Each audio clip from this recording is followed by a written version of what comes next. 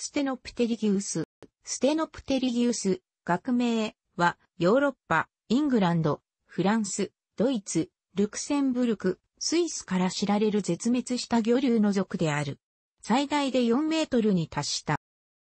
より知られているイクチオサウルスに、形態は類似しているが、イクチオサウルスよりも頭部が小さくヒレも細かった。保存状態の良好な化石がドイツで発見されており、その標本の頭骨はくちばしのように広がり、大量の歯が備わっていた。獅子はヒレ状に変化していた。尾は皮が張った大きな半円形の垂直な尾びれを形成しており、背中には三角形の背びれも存在した。ステノプテリギウスの生態は、現代のイルカに近く、生涯の大部分を沖合で、かごていた。魚類や、頭足類及び他の動物を捕食しており、ステノプテリギウスの骨格の腹部内空からは、そのような食料のムクロが含まれていることがある。出産時に死亡した母親と幼体の化石が有名であり、ステノプテリギウスが体制であったことを示している。同時に、山道を通り抜ける前に窒息しないよう、魚竜の幼体がクジラ類と同様に尾の側から生まれることが証明されている。ステノプテリギウスの標本の大半はマイケル W. マイッシュにより再記載されたものであり、その数は100を超える。彼は模式種である S クワドリシスには以前 S ホーファイオネスや S メガセファラスとして記載された標本のみならず S エーオスや S インセサス及び S マクリフジーズマが統合されるとした。マイッシュは1932年にウッドワードが執筆した論文に従い、イクチオサウルストリシシスはステノプテリギウスに属すると考えた。S トリシシスは S ロンジェフランズや S メガセファラス及び S メガライネスのシニアシノニムにあたり、優先権を持つ。以前、S メガライネスとして記載された標本や S、キューニアセップスの模式標本は S ユナイターに再分類された。S ユナイターの模式標本は第二次世界大戦で破壊され、マイッシュは新基準標本を提案した。マイッシュはまた S プロミガセファラスが若い個体に基づいているため疑問名であるとし、S ホーファイオネスの選定基準標本は、ステナプタージアス CF クアドリシシス、おそらく S クアドリシスという意図された。このため S ホーファイオネスは疑問名とみなされるべきである。さらに彼は以前 S ホーファイオネスとして記載された標本の大半が模式種 S クアドリシスに再分類可能であり、不可能なものは、ステノプテリギウス属の有効な種に再分類することができない常に特異的な新たな分類群に属することを発見した。この種は、ハウフィオプテリクス属として独立した。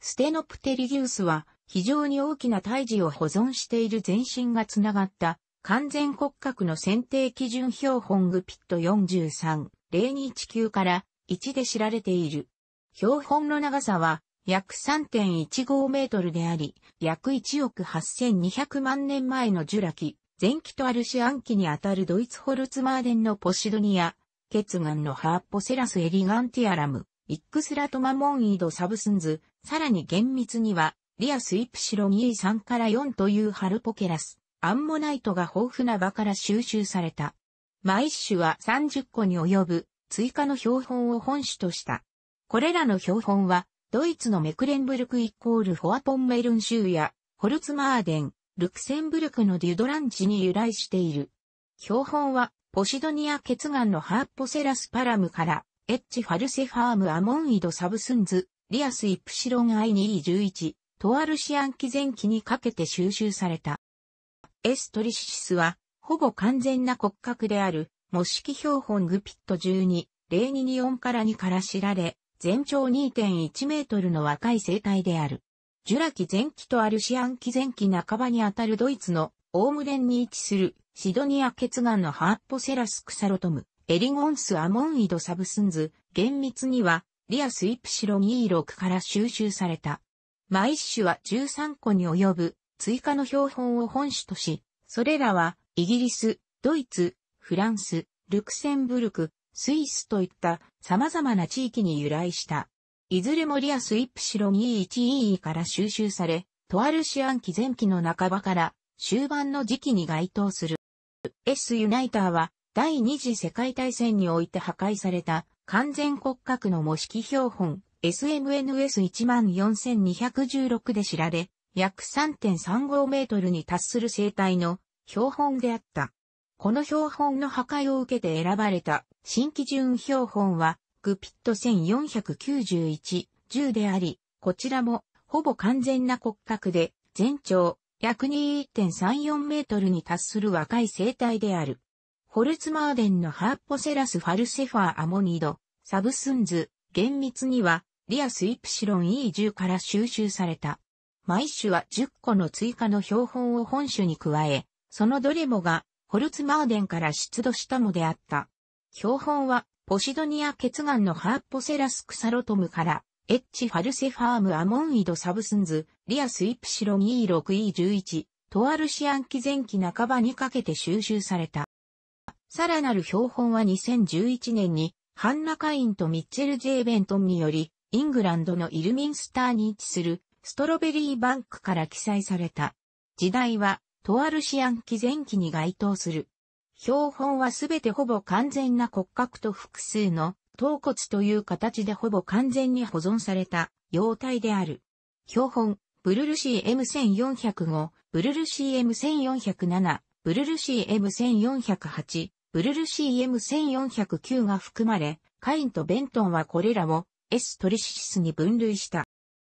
2012年にはドイツの南西部からジュラ紀中期の新種 S オーリーニーシスが記載された。2000年のマイッシュと末期の論文及び2010年のマイッシュの論文では、チャカイコサウルスとハウフィオプテリクスはステノプテリギウスかとみなされたが、この主張の根拠となる分析は不足していた。フィッシャーらによる2011年の論文では、チャカイコサウルスがステノプテリギウス科とフタルモサウルス科の両方の外に配置されている原始的な魚類でることが分岐学的解析により明らかとなった。マイッシュによる2008年の論文及びカインとベントンによる2011年の論文での分岐学解析では、ハウフィオプテリクスはユーリノサウルスに禁煙愛は魚竜の原始的な属であるとされている。すなわち、ステノプテリギウス科が、ステノプテリギウス属ただ一属のみを含むことを意味する。